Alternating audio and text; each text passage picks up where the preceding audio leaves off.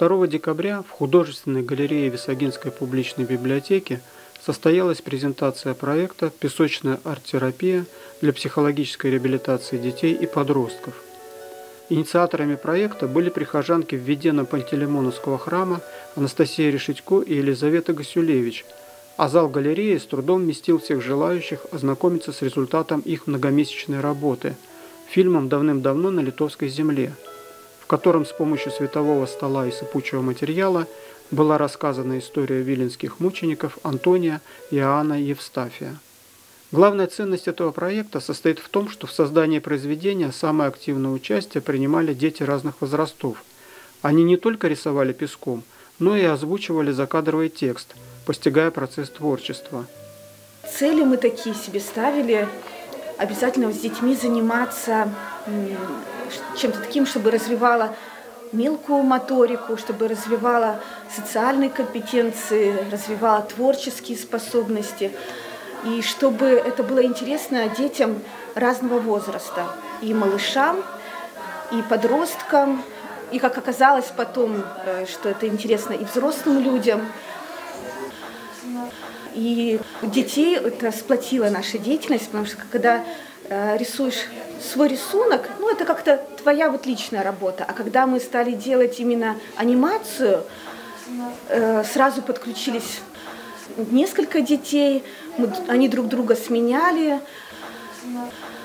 Получилась такая общая работа. Песочная анимация или рисование песком – сравнительно молодое искусство, которое появилось в 70-х годах прошлого века.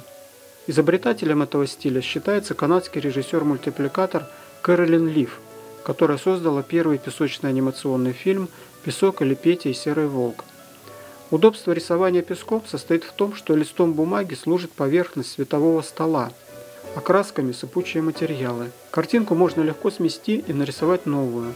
Главное успеть запечатлеть ее на камеру. На вечере выступили участники фольклорного ансамбля «Былина». Иерей Валентин Гасюлевич рассказал подробности работы над проектом, в который было вовлечено множество людей. Присутствовали на мероприятии городские власти – ведь проект частично финансировался из средств Висагинского самоуправления. Мы попросили организаторов мероприятия поделиться своими планами на будущее.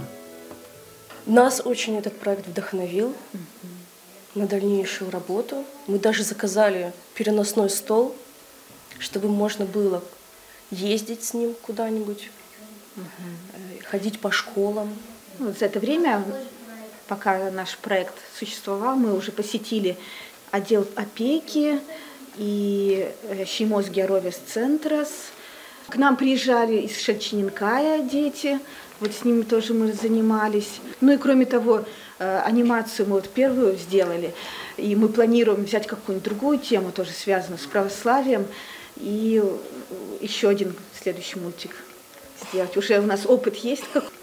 Пожелаем инициаторам проекта творческих успехов – а для тех, кто не сумел побывать на презентации, сообщим, что в художественной галерее открыта выставка работ детей и подростков, которые уже ознакомились с техникой рисования песком.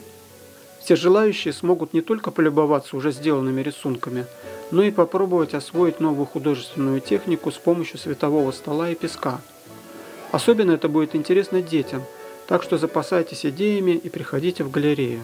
Выставка продлится до 8 января.